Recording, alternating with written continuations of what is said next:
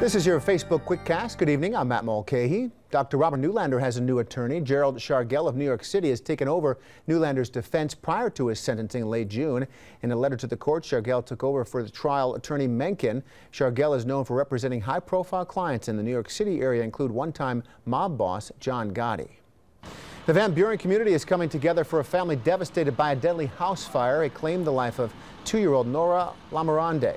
A GoFundMe page has now been set up to raise, and has already raised more than $30,000 for the family.